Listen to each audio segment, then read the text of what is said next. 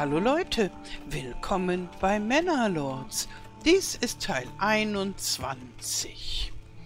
In der letzten Folge wurde unser Herrenhaus fertig, das ja noch irgendwie recht bescheiden wirkt. Aber nun, sei es drum, ähm, aller Anfang ist schwer. Und das Herrenhaus muss ja auch nicht so pompös sein. Hauptsache, die Bewohner haben ordentliche Häuser. Und die Taverne nähert sich der Fertigstellung. Das ist erfreulich. Naja, es sind immer noch nicht alle Materialien da. Aber ich habe halt einfach ein bisschen zu viele Baustellen auf einmal hier am Laufen. Es wird aber schon besser. Also hier, diese Häuser sind fertig. Und, naja, da haben wir noch drei. Und eben die Taverne. Und ich denke mal, dann ist es grob auch schon erledigt.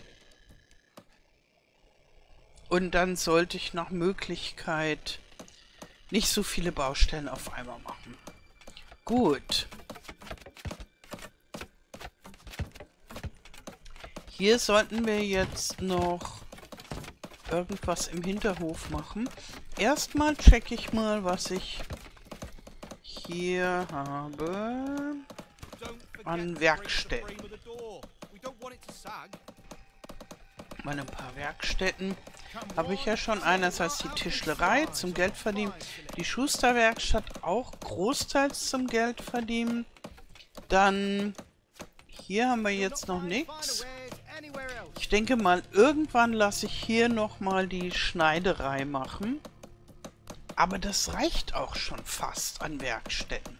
Großartig viel mehr brauchen wir nicht. Zumindest nicht so in der aktuellen Spielversion. Und apropos aktuelle Spielversion. Ähm, der erste große Patch ist aktuell, jetzt wenn ich das aufnehme, am 11. Mai, äh, als Beta-Version verfügbar. Und ich nehme mal an, bis ihr dieses Video hier zu sehen kriegt, ich kann nicht so viele Videos hochladen, wie ich aufnehme, ähm, sondern das strecke ich immer ein bisschen. Bis ihr das zu sehen kriegt, ist dieses Update bestimmt längst für alle verfügbar. Und ich spiele aber jetzt noch mit der älteren Version. Ich will erstmal abwarten ob sich das Update bewährt. Es sieht sehr gut aus von den Features, da freue ich mich schon drauf. Aber Updates haben ja oft die Eigenschaft, dass sie irgendwie mm, hakelig sind. Sagen wir es mal so. Und darum warte ich jetzt ein paar Tage ab. Dann werde ich mir auch diese Beta-Version installieren. Ich spiele also jetzt möglicherweise mit einer deutlich älteren Version, als ihr gerade spielt. Wenn ihr mir sagt, oh, man kann aber jetzt so und so und du machst das falsch, dann liegt das daran, dass ich mit einer älteren Version spiele. So. Und natürlich kann es auch sein, dass ich was falsch mache. Also, äh. Oder ich mache es halt anders als ihr. Es gibt ja ganz viele Möglichkeiten, Männerlords auf unterschiedliche Weise richtig zu spielen. Ich spiele jetzt hier in diesem Safe Game so richtig beschaulich und gemütlich und mal abwarten und mal ausprobieren. Und zwischendrin habe ich schon Safe Games, wo ich mit viel höherer Geschwindigkeit spiele und an einem Abend äh, so viel schaffe, so baumäßig, wie hier in 20 Folgen. Und das ist aber dann nicht so Genussspielen, sondern dann will ich was Bestimmtes ausprobieren. Und wahrscheinlich habt ihr auch schon Videos von mir gesehen, inzwischen, wo ich euch solche Safe Games vorstelle, wo ich sage, oh, ich habe jetzt ausprobiert, wie es geht, ganz ohne zu farmen beispielsweise.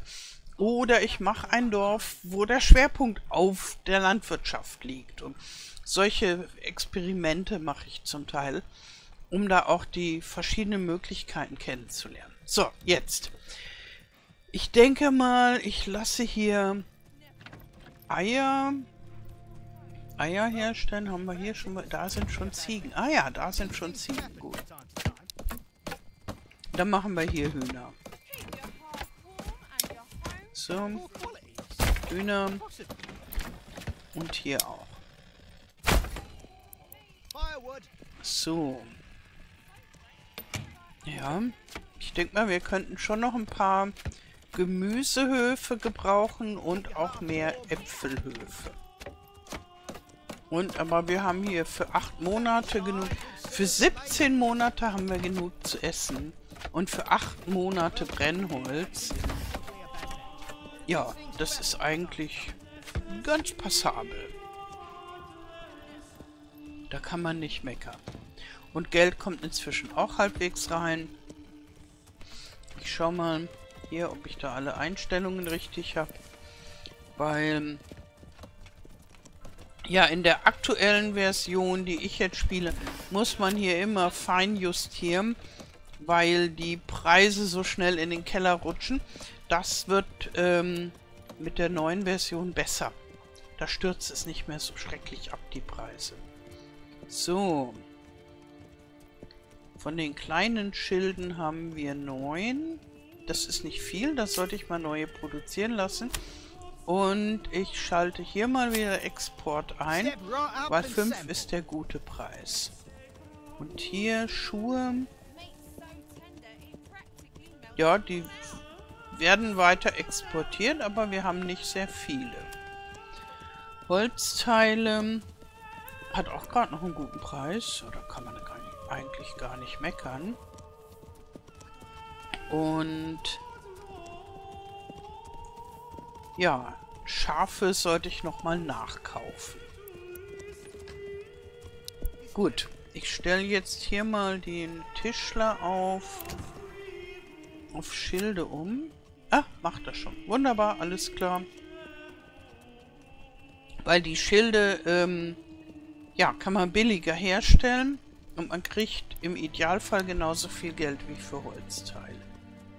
So, jetzt stellen wir hier mal mehr Schafe ein. Ne, nicht bei der Schafzucht, sondern hier beim Viehhändler. Sechs Schafe ist ja so gut wie nichts. Ähm, wir haben gerade 480 Öcken. Dann gehe ich mal auf 10 Schafe. Damit nicht auf einen Schlag das ganze Geld für Schafe wird. So. Darum mache ich das so schrittweise. Ich glaube fast, ich kann es mal ein bisschen schneller laufen lassen. Weil das ist ja schon recht ereignisarm so im Winter. Die Häuser sind fertig gebaut. Und warte ich wohl noch auf den Fertigbau der Taverne. Und wenn die dann endlich fertig ist, dann baue ich noch ein paar neue Häuser. Und mehr Ochsen will ich auch haben. Ach, wie viel Stelle haben wir? Stallfläche für acht Ochsen. Das ist okay. Da bestelle ich gerade mal ein. Ochsen kann man irgendwie nie genug haben. Und habe ich schon ein Pferd bestellt eigentlich? Nö. Das bestellen wir mal hier. Oh. Ich kann wohl nur entweder einen Ochsen oder ein Pferd bestellen. Beim nächsten Mal bestelle ich dann ein Pferd für den Händler. Die Taverne ist fertig. Na, endlich. Hier mit dem schneebedeckten Tischen wird sich wohl keiner draußen hinsetzen, aber bald kommt der Frühling. Und dann werden sie da in Scharen einströmen. Ja, Bier brauen. Oh ja, wir brauchen auch von den Werkstätten auch eine Brauerei. Aber wir produzieren nur winzige Mengen Gerste. Jetzt gucke ich mal, die Melzerei. Nee, die ist hier. Da ist die Melzerei. Hier ist aktuell niemand tätig, weil wir, glaube ich, auch gar keine Gerste übrig haben. Ähm... Fünf Malz haben wir. es lohnt sich kaum dafür, ein ganzes Haus mit einem kompletten, mit einer kompletten arbeitenden Familie abzustellen. Weil bei den Häusern, wenn man, also bei den Werkstätten, da kann man ja die Leute nicht entlassen und kann sagen, du machst jetzt was anderes. Sondern wenn die dann nichts zu tun haben, drehen die einfach Däumchen. Ich werde jetzt wohl, obwohl wir Gerste anbauen und fünf Malz haben, werde ich wahrscheinlich Bier bestellen. Das ist zwar so ein bisschen irre, aber wohl durchdacht irre. Ähm, ich habe das mit dem Bierkaufen schon ausprobiert in anderen Safe Games und das hat gut funktioniert. Ja, und eben eine ganze Familie, nur weil wir im Jahr fünf Malz haben, erwarte ich, bis sich noch mehrmals angesammelt hat. Äh, was wollte ich gucken? Ja, ich wollte gucken, ob die Zweierhäuser ansonsten hier, na komm, reif sind für Level 3, ja. Wir haben auch zu wenig Bretter.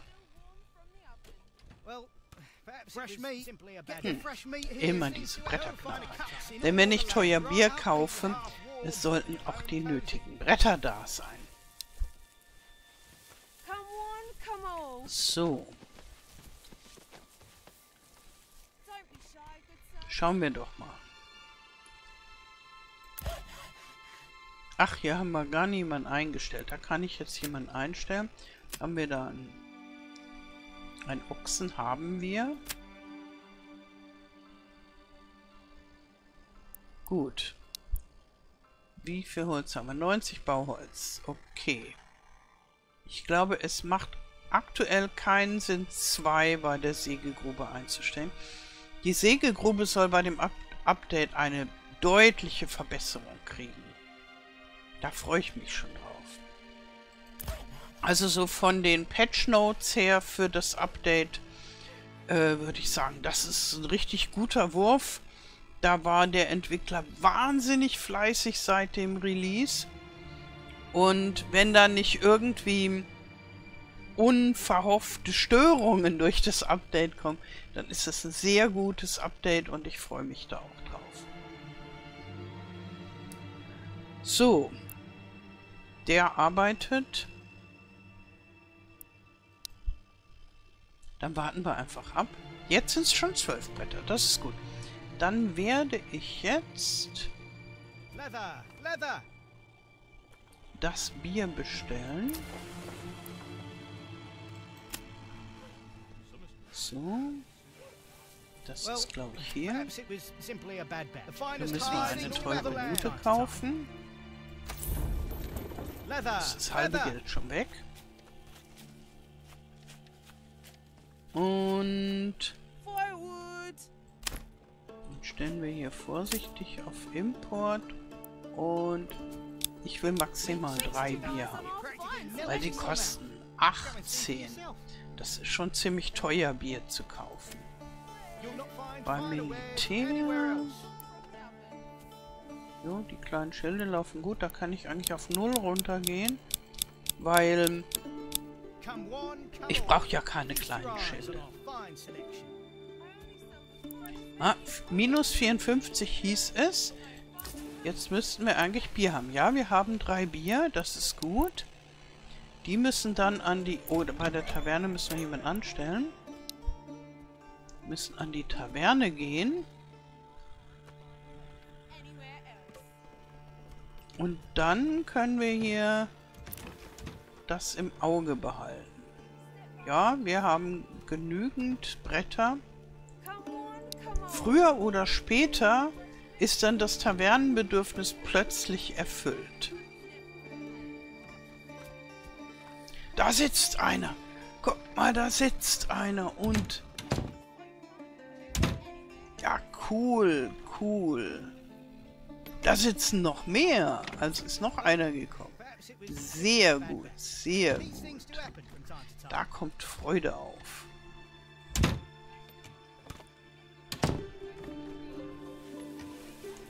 So, jetzt schauen wir hier nochmal. Nehmen wir vielleicht mal die Tischlerei da. Da. Ja, die können wir upgraden. Jawohl.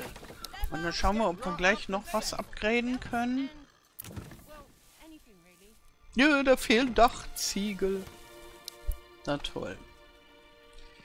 Dachziegel. Müssen wir mal wieder produzieren lassen. Haben wir denn noch Lehm?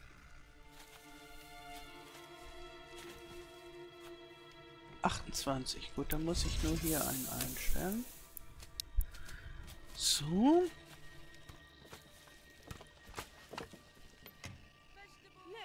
Es ist natürlich ein bisschen blöd, wenn jetzt gerade Bier da ist.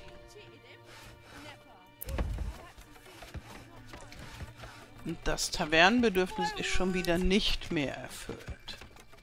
Also das ist immer nur kurze Zeit erfüllt.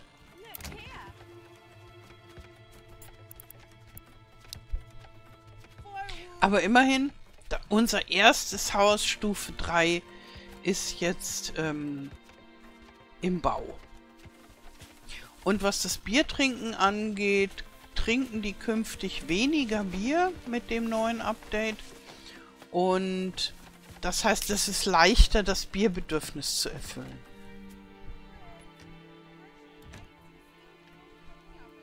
Vielleicht sollte ich bei meinen künftigen Feldern auch gar keine Gerste mehr anbauen. Ich meine, ich lasse das jetzt mal laufen. Sagen wir mal noch dieses Jahr. Ich schaue vielleicht auch mal hier die, die Fruchtbarkeit an. Die ist ja doch ziemlich dürftig hier in meiner Gegend. Warum habe ich da oben? Ich glaube, da hinten ist da ist bessere... Na, toll. Warum habe ich da oben angebaut? Weil das ein hübscher leerer Platz ist? Ich glaube ja.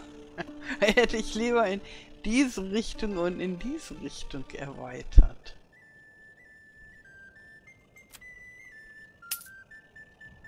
Ich meine gut, äh, ich habe glaube ich Flachs hier anbauen lassen. Hm, toll. Und da sah das ein bisschen besser aus für Flachs. Aber für Landwirtschaft ist diese ganze Gegend hier eigentlich schlecht.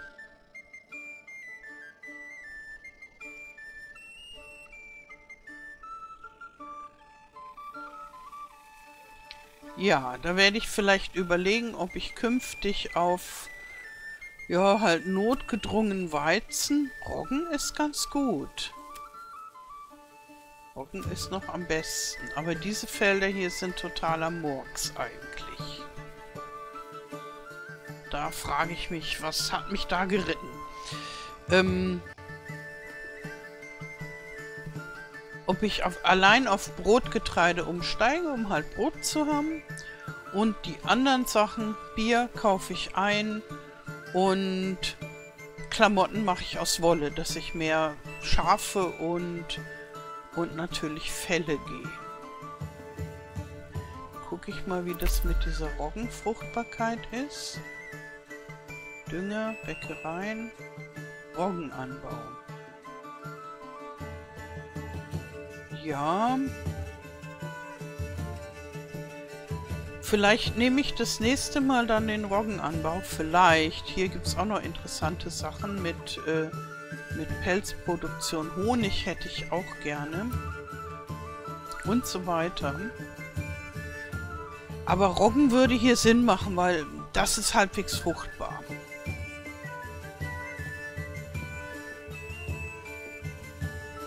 Und diese Felder lasse ich jetzt mal laufen und werde dann nochmal drüber nachdenken, ob ich nicht vielleicht die Landwirtschaft einfach in diese Bereiche erweitere und da hinten die Felder abreiße, Wald pflanzen lasse.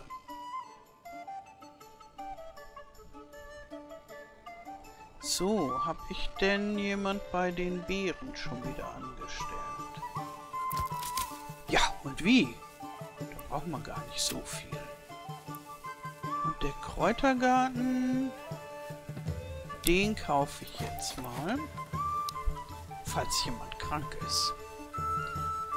Die Tischlerei. Das ist unser Level 3 Haus. Wow. Da haben wir es. Da ist auch gleich eine neue Familie eingezogen.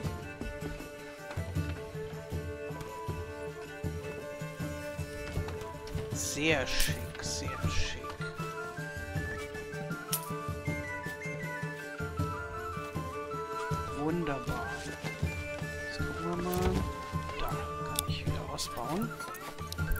hier, das da, auch, muss man gleich mitnehmen. Wenn schon mal Bier da ist und genügend Dachziegel und Blätter, dann wird hier so viel wie möglich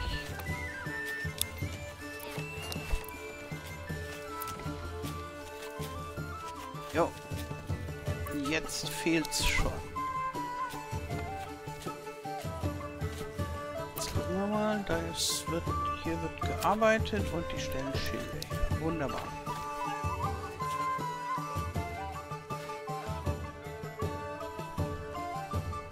Also ich dachte so, dass ich hier den Ortskern, alles rund um diesen Anger äh, an Häusern ausbaue.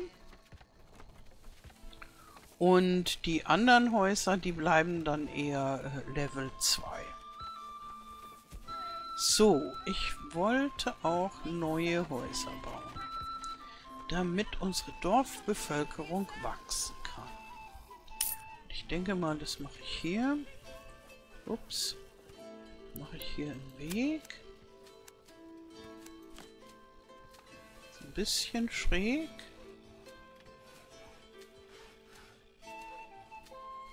So. Und dann bauen wir da Häuserchen. So.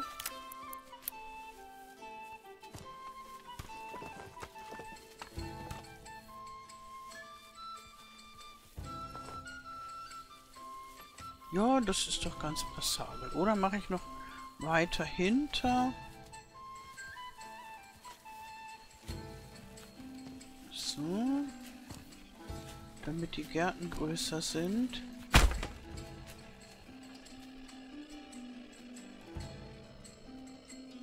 So, komm. Da reichen erstmal drei. Es reichen erstmal drei. Und danach mache ich dann hier noch welche. So, ich habe jetzt auch schon wieder ein bisschen Geld. Hier habe ich einen Garten. Und hier habe ich einen Hühnerhof. Da habe ich noch nichts. Ich denke mal, da kann ich auch noch einen Hühnerhof machen.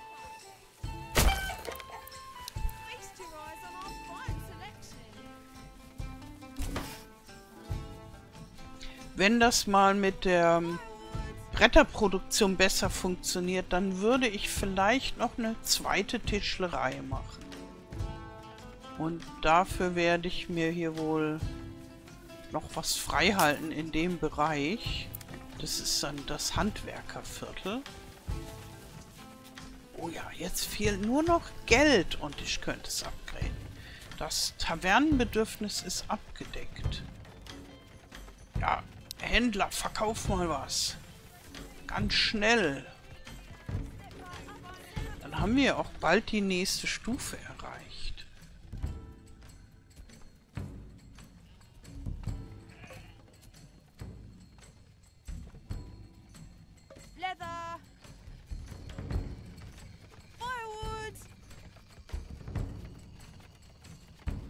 So.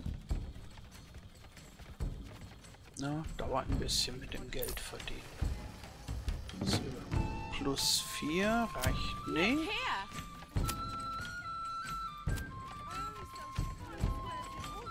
Ja, das läuft noch ganz gut hier. Der Preis ist in Ordnung. Vielleicht ist schon die nächste Folge, die ich mache, mit dem Update und dann läuft der Handel wahrscheinlich besser.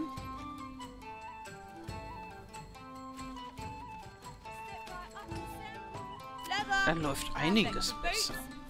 Ich finde das ja irgendwie eine super coole Sache, dass da mal ein Entwickler ein Update macht, wo fast alle Punkte, die da beackert werden, sinnvoll scheinen. So, was die Kämpfe angeht, das kann ich nicht beurteilen. Aber alles, was irgendwie mit meinem Gameplay zu tun hat, würde ich sagen, hey, super, ja, tolles Update. So, ich habe gerade noch bei der Weberei einen eingestellt, damit wir auch Garn haben. Wegen der mehreren Kleidungstypen.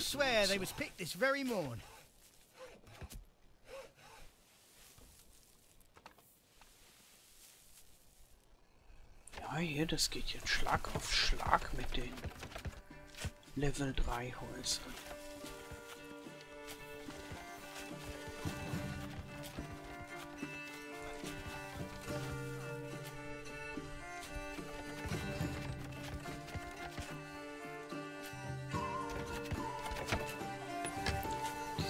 Gemeinschaftsofen ist irgendwie so optisch ist diese Seite nicht so ausgewogen, finde ich. Den würde ich lieber hier unterbringen. Vielleicht kriege ich ihn ja da noch unter und dann kann ich ihn da abreißen und hier noch Häuser hinsetzen. Und diesen Speicher fand ich ursprünglich gut an der Stelle. Den sollte man entweder mal ähm, ausbauen. Oder ihr hattet mir auch gesagt, die, dass die Ställe nicht, hier nicht so günstig sind. Und ich glaube, damit habt ihr recht. Die werde ich nach und nach verlegen. Und dann kann hier vielleicht das ähm, Nahrungsmittellager in ausgebauter Form, das sieht, der auch, sieht das auch richtig cool aus. Jetzt gucke ich mal erst, ob ich diesen Gemeinschaftsofen umziehen lassen kann. Firewood, Firewood. Hier mal gucken. Das ist, glaube ich, die Bäckereien. Aber als nächste Erweiterung will ich ja Roggenanbau wahrscheinlich haben. Dann gibt es also keine Hinterhofbäckerei. So. Wir bleiben dann also beim Gemeinschaftsofen. Das wäre hier. Und da passt er doch gut hin. Er füllt doch prima diese Lücke. Dann kann ich den sogar abreißen, weil aktuell haben wir ja für den auch gar nichts zu tun. Das Brot ist alles längst gebacken und aufgegessen. So.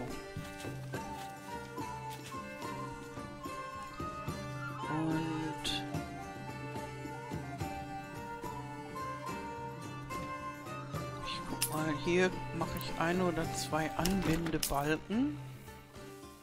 Es wird dann auch bei den Bauernhöfen zwei Plätze für, äh, für Ochsen geben. Dann braucht man nicht so viele Bauernhöfe.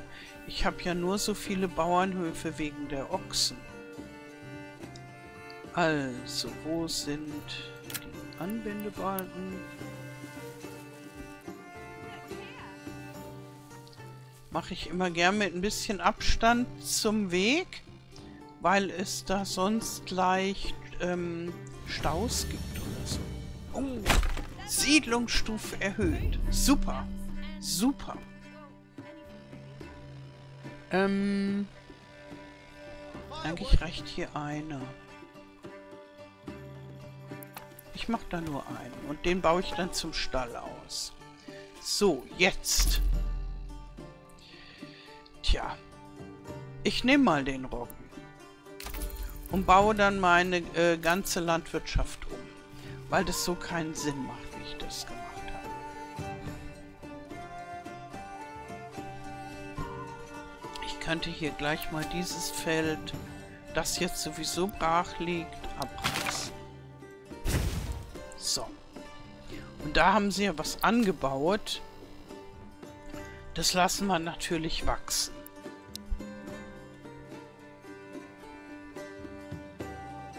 Hier gerade gar keins brach. Ja, ja, oh, wir haben jede Menge Gerste angebaut. Tja. Na, vielleicht kann ich äh, vorübergehend ein Haus zur Brauerei machen. Bis die Gerste verbraucht ist. Wir können auch mal hier beim Handel gucken.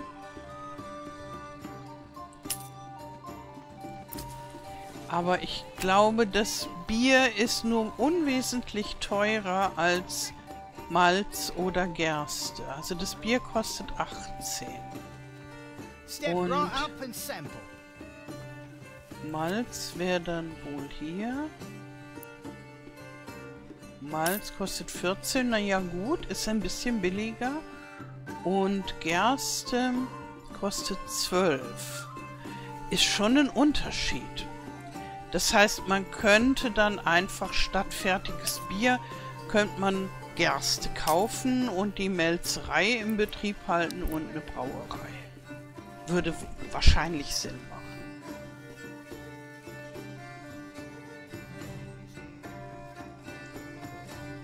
Und jetzt wächst es hier auch ordentlich, so wie das soll. Ist das nicht schön? Oh, und da sieht man ein Flachsfeld. Jawohl. Wie idyllisch. Super gut.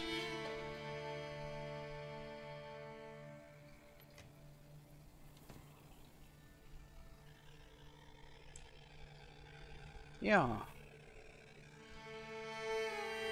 Ich denke mal, ich nehme mir dann als nächstes vor, also als nächstes größeres Projekt, die Felder in diese Richtung und hier zu erweitern. Also zusätzliche Felder. Und diese da hinten, ähm, die kommen dann weg. Und jetzt schauen wir hier nochmal. Da wäre ja schon auch nochmal ein fruchtbarer Bereich. Vielleicht könnte man da so ein kleines Rundlingdorf hinbauen. Die sind irgendwie nett und hübsch. Oder auch hier. Da, einfach so ein Mini-Dorf das sich weitgehend selbst versorgt mit Feldern drumherum. So ein kleines Dorf. Wobei hier die fruchtbare Zone fast zu klein ist. Da muss ich mal drüber nachhirnen. Was sagt die Roggenfruchtbarkeit? Die ist hier gut. Roggen kann man gut anbauen hier. Da ist die Fruchtbarkeit auch größer. Ja, man kann hier noch viele schöne Sachen machen. So ganz entspannt und gemütlich. Und zwischendrin gibt es dann bestimmt immer mal wieder Videos von mir mit, ähm, ja, wo ich schneller was baue. Wo ist der Jäger? Da. Gut, da arbeitet jemand. Alles in Ordnung.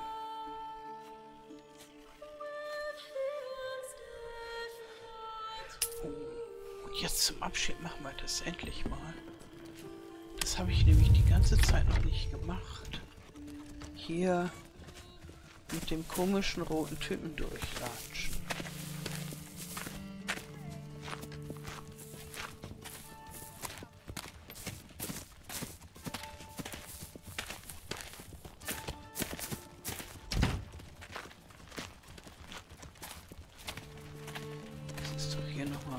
Ganz anderes.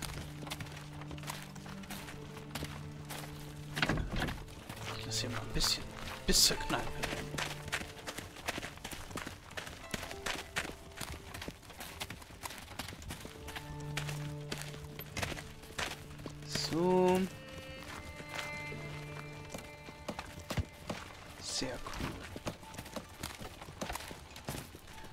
Gucken, ob man ihn sieht, wenn man ihn rückwärts laufen lässt. Nee. Aber wenn man es so macht... Ah, der dreht sich gleich wieder weg, der Typ. Ja, ja, der will wohl nicht gesehen werden, der Schlingel. Zumindest nicht von vorne. Okay, ich würde sagen, das war's mit dieser Folge. Wir haben viel erreicht. Wir haben eine Kneipe. Wir haben Bier bestellt. Da wird, glaube ich, das nächste Bierfass geliefert. So ist recht.